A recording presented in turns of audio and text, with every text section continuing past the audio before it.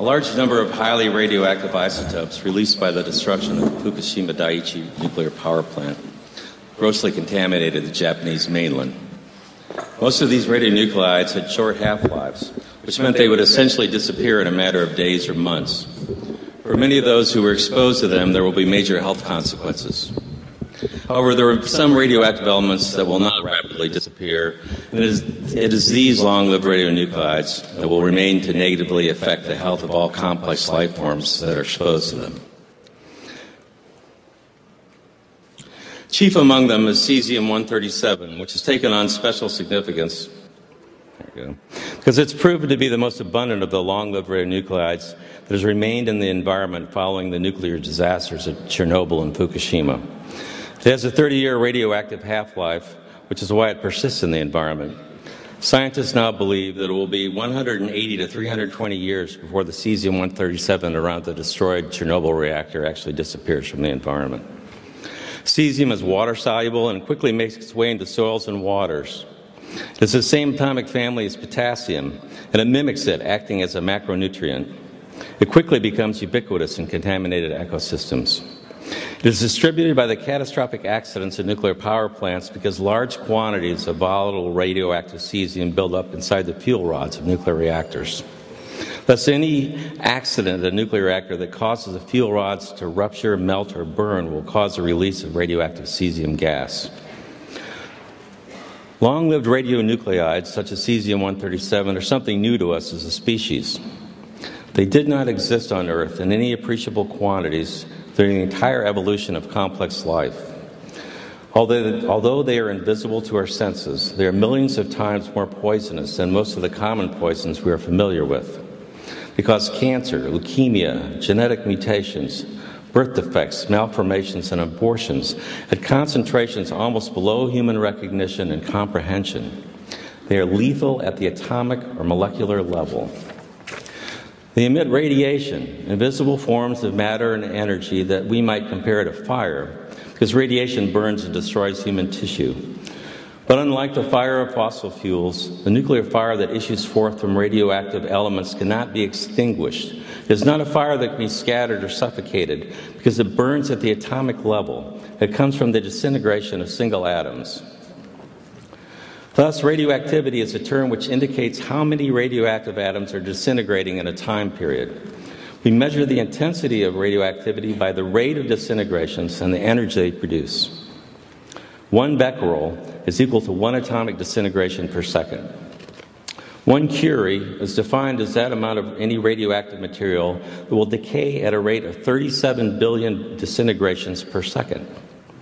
So one curie equals 37 billion becquerels.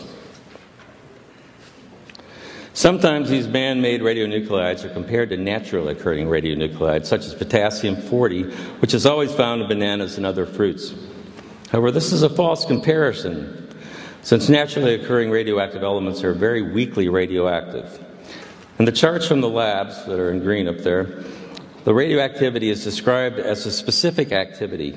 Note that potassium 40 has a specific activity of 71 10 millionths of a curie per gram. Compare that to the 88 curies per gram for cesium 137.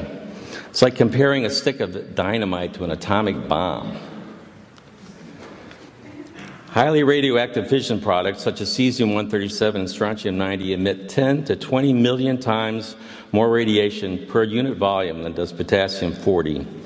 So, which one of these would you rather have in your bananas? It is, in fact, the amount of cesium 137 deposited per square kilometer of land that defines the degree to which an area is classified as being too radioactive to work or live. One may get an idea of the extreme toxicity of cesium 137 by considering how little of it is required to make a large area of land uninhabitable. The lands that were grossly contaminated by the destruction of the Chernobyl nuclear power plant are classified by the number of curies of radiation per square kilometer were 3,840 square miles of land contaminated with 15 to 40 curies of radiation per square kilometer. These lands are considered strict radiation dose control zones. The 1,100 square mile uninhabitable exclusion zone that surrounds the destroyed Chernobyl reactor has greater than 40 curies of radioactivity per square kilometer. For those more familiar with square miles, that would be 104 curies per square mile. Consider again that one gram of cesium 137 has 88 curies of radioactivity. Thus, as little as one third of a gram of cesium 137 made into microparticles, distributed as a smoke or gas over an area of one square, square kilometer, will make that square kilometer uninhabitable. Less than two grams of cesium 137, a piece smaller than an American dime, if made into microparticles and evenly distributed over as a radioactive gas over an area of one square mile, will turn that square mile into an uninhabitable radioactive exclusion zone. Central Park in New York City can be made uninhabitable by two grams of microparticles of cesium 137. Hard to believe, isn't it? Remember, these nuclear poisons are lethal at the atomic level. There are as many atoms in one gram of cesium 137 as there are grains of sand in all the beaches of the world. That's 10 to 21 atoms, 10 to the 21st power. 1,480 trillion of them, which is 10 to the 12th power, are disintegrating every second, releasing invisible nuclear energy. So this works out to about 1.5 million disintegrations per square meter. You can see how this works then. I included an extra slide just to note the immense inventories of cesium 137, 150 million curies that are located in the nearby spent fuel pool at Indian Point Nuclear Power Plant, which is about 40 miles from here by road, and less than that as the radioactive cloud flies. Many of the 104 U.S. Nucle- uh, commercial nuclear reactors and power plants have more than 100 million curies of cesium 137 in their spent fuel pools. This is many times more than the spent pools at Fukushima. So now that we have some idea of the extreme toxicity of cesium 137, let's look at the extent of the contamination of the Japanese mainland. It's now known that the reactors 1, 2, and 3 at Fukushima Daiichi all melted down and melted through the SEAL reactor vessels within a few days following the earthquake and tsunami of March 11, 2011. This was not made public by either TEPCO or the Japanese government for two months. The greatest amounts of highly radioactive gases were released shortly after the meltdowns, and 80% of this gas released by the reactor is believed to have traveled away from Japan over the Pacific. However, the remaining 20% was dispersed over the Japanese mainland.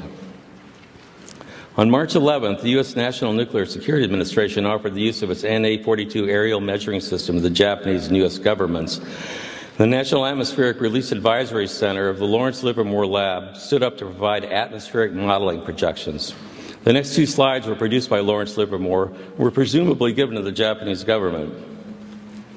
On March 14th, the easterly winds, which had been blowing the highly radioactive gases and aerosols coming from Fukushima out to sea, shifted and pushed the radioactive plume back over the Japanese mainland.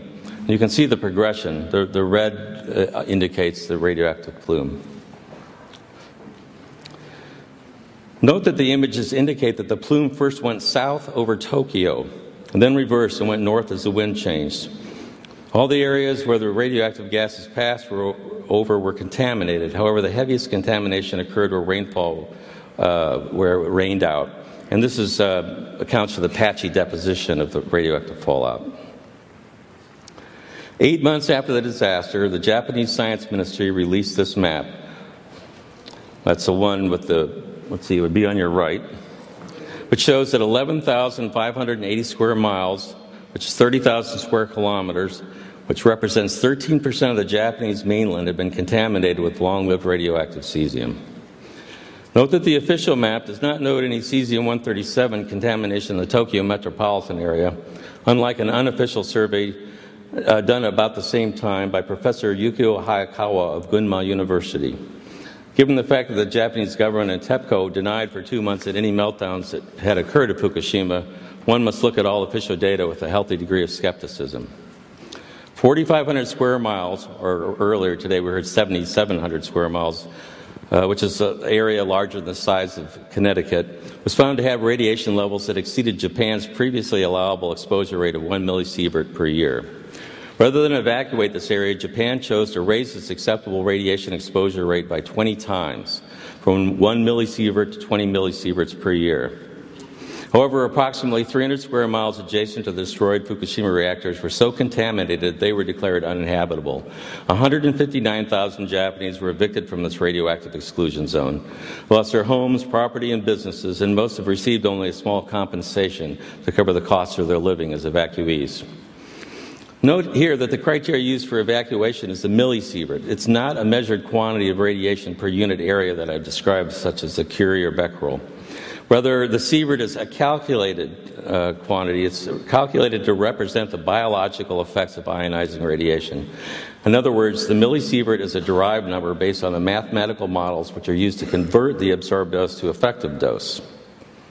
So, what is the increased health risk to Japanese based upon their exposure to 20 millisieverts per year? This is, uh, let's examine the figures constructed on the basis of data published by the National Academy of Sciences. It was provided to me by Ian Gard. The vertical y-axis is calibrated to the number of cancer cases per 100,000 age peers. The horizontal x-axis depicts the age of the population beginning at zero years and moving towards old age. Examine the allegedly safe dose of 20 millisieverts per year. As a result of this exposure, there will be about 1,000 additional cases of cancer in female infants and 500 cases of cancer in infant boys per 100,000 in their age groups There will be an additional 100 cases of cancer in 30 year old males in their age groups. Now, notice that children, especially girls, are at most risk from radiation induced cancer. In fact, female infant has seven times greater risk, and a five year old girl has five times greater risk of getting a radiation induced cancer than does a 30 year old man. I want to note here that there's a great deal of controversy in regards to the accuracy of the methods used to arrive at the millisievert measurement, especially in regard to an accurate determination of the biological effects of an external versus internal exposure to ionizing radiation. That is, the effects of an exposure to a source of ionizing radiation that is external to the body versus an exposure that comes from the ingestion of radionuclides that provide a chronic, long term internal exposure to living cells which are adjacent to the radioactive atoms or particles. In the land surrounding Chernobyl and Fukushima, the primary route of internal exposure is through the ingestion of foodstuffs contaminated with cesium 137, which tends to bioaccumulate in plants and animals. What this means is that cesium 137 cannot be excreted faster than it's being ingested. Thus, it accumulates and increases in its concentration in the plant or animal that is routinely ingesting it. Cesium 137 also tends to biomagnify as it moves up the food chain. This means it becomes progressively more concentrated in predator species. We've seen this before with other industrial toxins such as DDT, which can magnify its concentration millions of times from the bottom to the top of a food chain. Consequently, all of the foodstuffs in a contaminated region tend to contain cesium 137. Those naturally rich in potassium, such as mushrooms and berries, tend to have very high concentrations. Dairy products and meats also tend to have higher concentrations. The International Commission on Radiological Protection, the ICRP, which sets radiation safety standards, recognizes that cesium 137 bioaccumulates in humans. This ICRP figure compares a single ingestion of uh, 1,000 becquerels of cesium 137, a one time exposure, the daily ingestion of 10 becquerels. On a single exposure, notice that half the cesium 137 is gone from the body in 110 days. That's considered the biological half life. Note also that with a routine daily ingestion of 10 becquerels of cesium 137, the total radioactivity within the body continues to rise until after about 500 days, there are more than 1,400 becquerels of radioactivity measured in the body. Becquerels can be counted in living persons because cesium 137 the decay of cesium-137 emits gamma radiation, which passes through the body and can be measured by a whole body counter. So they have a chair that kids can sit in, or anyone, and they can, they can calculate the amount of uh, becquerels per kilogram of body weight. So, in a 70 kilogram adult, based on this, the total body activity of 1,400 becquerels would correspond to 20 becquerels per kilogram of body weight. And a 20 kilogram child would be 70 becquerels per kilogram of body weight. The ICRP document does not specify the average age or weight of those examined in the study. However, the safety standards that have been set by the nuclear industry do not consider this level of chronic exposure to so called low dose radiation to be a significant danger to human health. The ICRP states in this document that a whole body activity of 1400 becquerels is equivalent to an exposure one tenth of millisievert per year. In other words, the radiation models used by radiation biologists to convert this level of internal absorbed dose to effective dose do not predict serious health risks from such exposures. In fact, they stated it's safe to have 10 times this exposure level. There is, however, strong evidence that the ingestion of these levels of so called low dose radiation are, in fact, particularly injurious to children. Research done by Dr. Yuri Bandazhevsky and his colleagues and students in Belarus during the period 1991 through 1999 correlated whole body radiation levels of 10 to 30 becquerels per kilogram of whole body weight with abnormal heart rhythms and levels of 50 becquerels per kilogram of body weight with irreversible damage to the tissues of the heart and other vital organs. One of the key discoveries made by Bandazhevsky was that cesium 137 bioconcentrates in the endocrine and heart tissues, as well as the pancreas, kidneys, and intestines. This goes completely against one of the primary assumptions used by the ICRP to calculate effective dose as measured by millisieverts that cesium 137 is uniformly distributed in, in, in human tissues. Let me restate that this current ICRP methodology the current ICRP methodology is to assume that the absorbed dose is uniformly distributed in human tissues. This is, in fact, not the case. This table, taken from Bandazhevsky's chronic cesium 137 incorporation in children's organs, compares the radioactivity measured in 13 organs of six infants. Very high specific activity, that is, levels of radioactivity, often 10 times higher than in other organs and tissues, were found in the pancreas, thyroid, adrenal glands, heart, and intestinal walls. Bandazhevsky summarized his nine years of research in the study entitled Radioactive Cesium in the Heart. With the help of friends, I've just finished editing a new Russian English translation of this work. It was never previously translated, in large part because shortly after Dr. Bandazhevsky presented it to the parliament and the, and the president of Belarus, he was summarily arrested and imprisoned. Government agents entered the medical institute which he directed and destroyed his archived slides and samples. After he was released from prison, he was held under house arrest. It was during this time that he actually wrote the study. He did so in an attempt to preserve his research, knowing that he was about to be in prison again for a very long time. Just as Soviet physicians were forbidden to diagnose a radiation related illness following Chernobyl, the Belarusian government acted to suppress the work of Bandazhevsky, who had been protesting government efforts to resettle people back into land badly contaminated with cesium 137. In radioactive cesium in the heart, Bandazhevsky also did a correlation between the amount of cesium 137 in live children and their heart function. He worked with the Belrad Institute, which conducted more than 100,000 whole body counts on Belarusian children, measuring the amounts of internally ingested cesium 137 in each child. There were so many contaminated children in Belarus that it was difficult to find any with zero becquerels per kilogram. However, only those with less than 10 becquerels per kilogram of body weight had normal electrocardiograms. 35% of the children with 11 to 37 becquerels per kilogram had normal ECGs. 20% of children with 37 to 74 becquerels per kilogram had normal ECGs, and only 11% of those with 74 to 100 becquerels per kilogram had normal ECGs. This slide, which shows the average results from hundreds of autopsies done during 1997, is also taken from radioactive cesium in the heart. Notice a very high concentration of cesium 137 in the thyroid gland. We generally worry about radioactive iodine concentrating in the thyroid, Bandazhevsky's work shows us that cesium 137 is likely to play a major role in thyroid cancer too. I want to point out again that the currently accepted medical and legal understanding of cesium 137 is that it is, quote, distributed fairly uniformly, unquote, in human tissues. I copied the web page from the U.S. EPA website from which this quote is taken. Clearly, uh, clearly, the autopsy human tissues samples analyzed by Bandazhevsky show that this is not the case.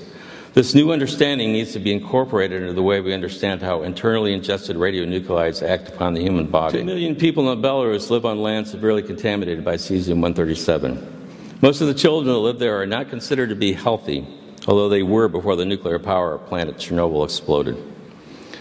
14 years after the explosion, 45 to 40 percent of high school graduates had physical disorders, including gastrointestinal anomalies, weakened hearts, and cataracts, and 40 percent were diagnosed with chronic blood disorders and malfunctioning thyroids.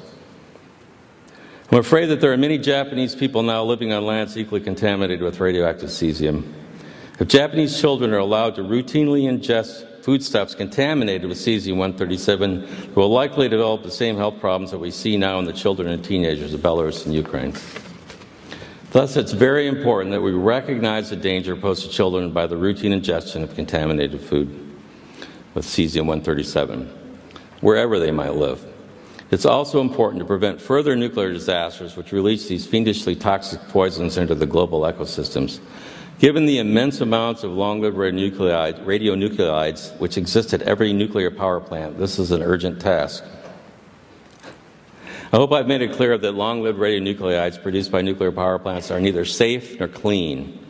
What's suggested it is a very bad idea to manufacture these nuclear poisons to try to make electricity.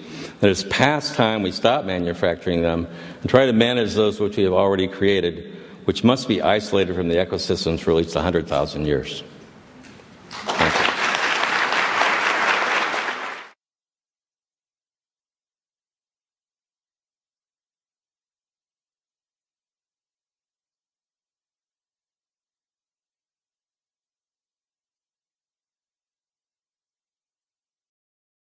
We need to get subscribed and get this unity stronger and beat YouTube at their own game. Okay, that's what this is about. Like I say, go to the remix button, hit the remix button.